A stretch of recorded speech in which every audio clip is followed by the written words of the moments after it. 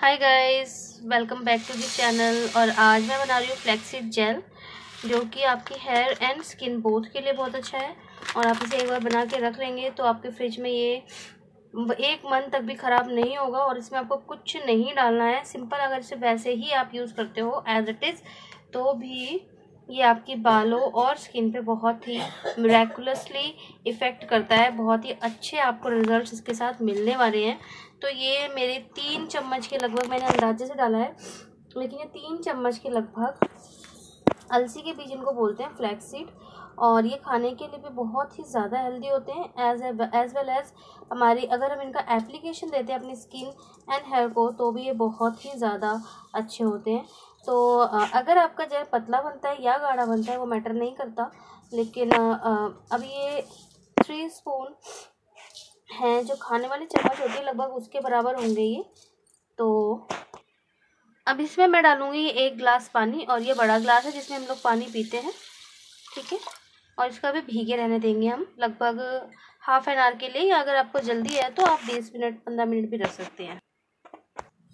तो मैं अभी इसे ढक के रख देती हूँ।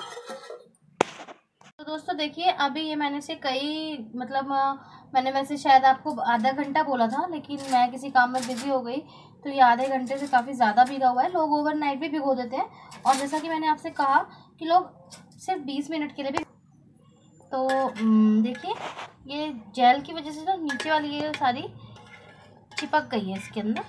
अब हमें क्या करना है? अब हमें इसे प्लेस करना है गैस के ऊपर। तो देखिए, मैंने इसको गैस से प्लेस कर दिया है और जो फ्लेम रखी है वो सिम से थोड़ी ज़्यादा रखी है या आप कह सकते हैं मीडियम रखी है। और ये अब मैंने इसको चला दिया है तो ये जो भी नीचे चिपका हुआ था वो सब हट गया है। अब इसको मैं पकने दूँगी और इस पर जब तक झाग नहीं बनने लग जाता ठीक है? आप जैसे कि पानी देख पा रहे होंगे कि पानी बहुत ज़्यादा नहीं है इतना गैप है पानी में। मतलब आपने देखा था ना, मैंने एक गिलास पानी डाला था इसमें। तो अब हम ये देखेंगे कि जेल कितना कंसिस्टेंसी क्या होती है जल की, कि बहुत ज़्यादा गाढ़ा बनता है या कैसे बनता है। तो अभी इसे हम उबलने देते हैं। इसमें ना पूरा अच्छे तरीके से बॉईल हो गया है। अब मैं फ्लेम को ऑफ़ कर रही हूँ और इसको ठंडा होने दूँगी। ठंडा होने के लिए इसी में छोड़ रही हूँ और आपको इसको लूप वॉर्म में ही छान लेना है।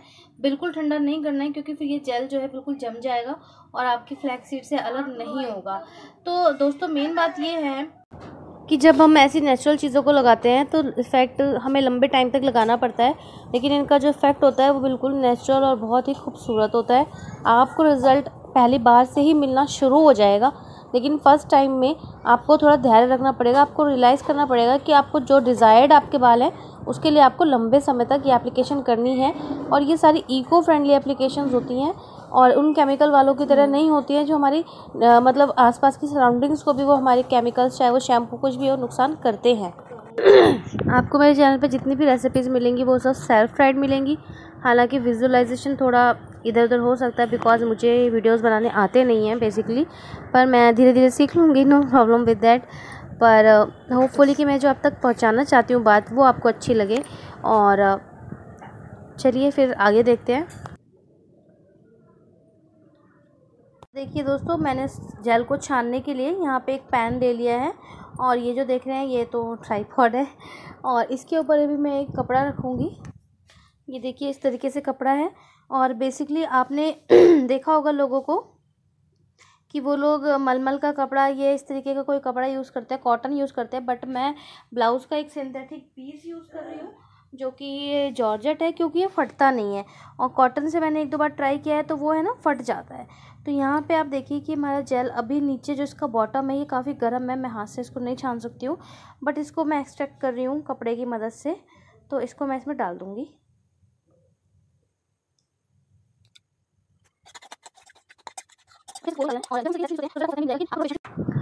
इसको अच्छी तरीके से पूरा उसमें डाल के और फिर मैं इसको एक्सट्रैक्ट करने की कोशिश कर रही हूँ। तो थोड़ा गर्म है, हाथों से नहीं हो पा रहा है तो इस तरीके का कोई चिमटा या कुछ ये जो मोमोज उठाने वाला होता है, या अचार निकालने वाला होता है, उससे मैं इसको क्रैक कर रही हूँ, निकाल रही हूँ। तो देखिए, जेल एकदम प्योर ट्रांसपेरेंट कलर का होता है और इससे आपको कुछ भी ऐसा सोचना नहीं कि पता नहीं कैसा दिख रहा है या क्या है। आपको सिर्फ़ इसकी एप्लीकेशन देनी है। इतना मुरेकुलस इसका इफ़ेक्ट है, ये एंटी एजिंग है, आपके स्किन को टाइट करेगा, आपके पोर्स को अच्छे से बिल्कुल मतलब फ्लॉलेस आपकी स्किन को बनाएगा, आपके बालों को ये ग्लॉसी बनाएगा स्ट्रेटन करेगा। बहुत लंबे टाइम तक यूज़ करेंगे आपके बालों को स्ट्रेटन कर देगा इतने सॉफ्ट शाइनी कर देगा लेकिन खाना चाहती हूँ बट अभी मैं क्योंकि तो बहुत कम सब्सक्राइबर्स हैं मैं सोचूँ हमारी फैमिली थोड़ी बड़ी हो जाए तब मैं आप लोगों के साथ फेस टू फेस बात करना चाहती हूँ क्योंकि कई लोगों ने मुझे बोला भी है कि बाय फेस इंस्ट्रक्शन ज़्यादा अच्छा रहता है कि देखिए इस तरीके से हाथ में हर जगह आप इसको अप्लाई कर सकते हैं बड़े ही आराम से रात में इसको अप्लाई करके सो जाना है क्योंकि रात में जो है स्किन रिपेयर या कोई भी रिपेयर सिस्टम बहुत अच्छे से काम करता है आप नेक पे अपने फेस पे हाथों में बालों में इसको अप्लाई करके सो जाइए। अब ये देखिए इस जेल को बड़े आराम से ऐसे किसी कंटेनर के अंदर आप भर के रख लीजिए।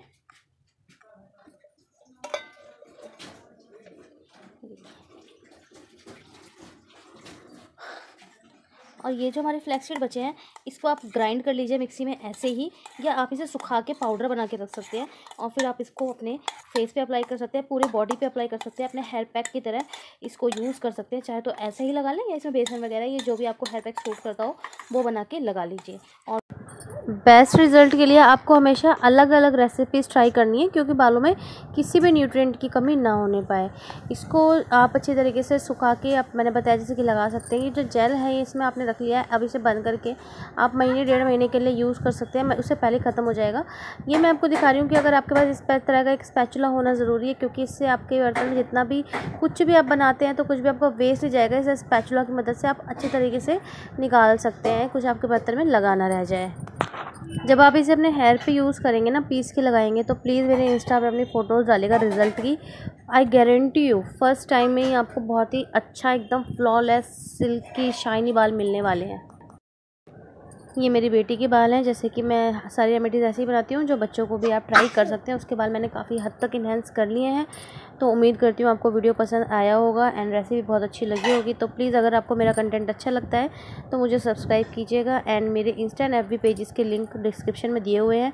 वहाँ जाके आप अपने रिज़ल्ट प्लीज़ मेरे साथ शेयर कर सकते हैं। कोई सवाल पूछना हो वो भी पूछ सकते हैं। फिर मिलूँगी नेक्स्ट वीडियो में किसी नए टॉपिक के साथ, कोई नई इन्फॉर्मेशन के साथ। God bless all my subscribers bye